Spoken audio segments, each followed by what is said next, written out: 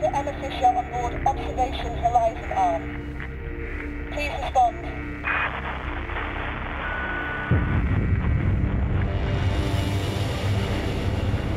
You can immediately feel the loneliness of space and observation. Its quiet, bleak atmosphere had me on edge the moment I panned a camera, as this sci fi thriller is all seen through the lens of a space station computer system, SAM OS.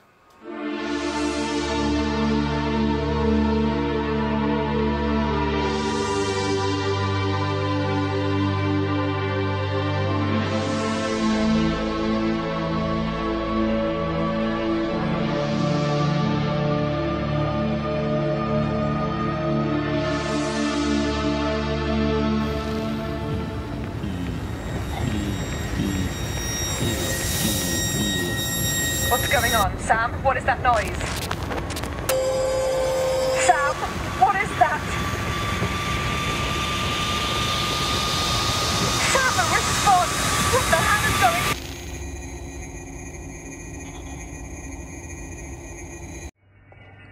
Observation opens with Sam being brought back online by crew member Dr. Emma Fisher. A catastrophic event has left many of the systems offline and the remaining crew missing in action. Please. If there is anyone in Module 12, make yourself known now. While the setup sounds cliche, seeing everything through the lens of Sam gives a view into the scenario that makes it feel brand new. As Sam, you're tasked with relaying issues you find back to Emma, like telling her if a camera feed is down or which vital system needs to be brought back online. This usually involves finding schematics or codes in the environment to solve puzzles. These systems usually also tie into a particular crew member who was assigned to this section of the station and will help unravel what actually happened to them. But mostly, you'll find out their fates through collectible audio logs found around the station. Within the first hour or so, you'll realize there's more going on as a mysterious force reveals itself to you.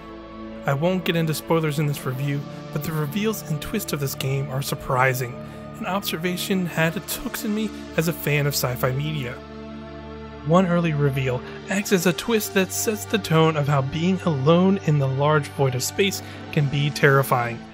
I'm going to connect to the distance cam. We should see where we are above Earth and if we've lost any altitude. Oh my god, Sam. That's. and it only escalates from there. This mysterious presence always looms over the game, yet it never feels overbearing. Developer No Code strikes a perfect balance as you know this presence was here and involved, but you don't know what the being's motives are. They don't constantly throw it in your face, and there wasn't always a jump scare around every corner or some monster chasing you down a hallway. Yet it still felt threatening, and its actual presence is always there in the back of your mind as you work to put the station back into working order.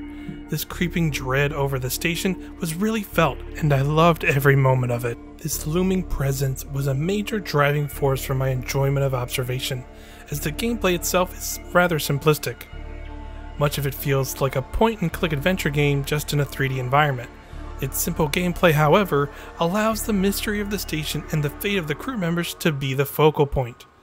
I felt for Dr. Fisher's slow descent into madness as she finds out more and more of what's actually happening.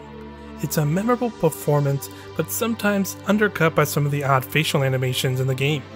To me, these are relatively minor shortcomings, as observation is proof that sci fi stories don't have to be this grand space epic to be memorable and tell human stories. It went beyond my expectations going into the game and subverted them completely by the end.